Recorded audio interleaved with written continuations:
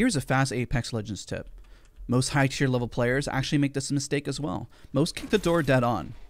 Now, what you want to do to maximize on this to avoid getting blasted with an unfortunate Mastiff or Peacekeeper is hit the door at an angle.